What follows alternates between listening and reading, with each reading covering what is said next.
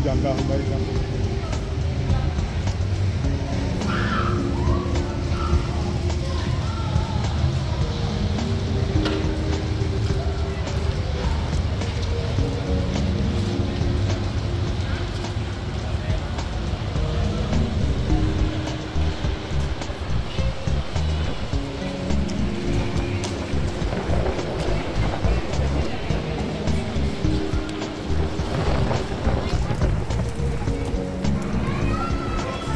अभी तो हाँ आ जाने।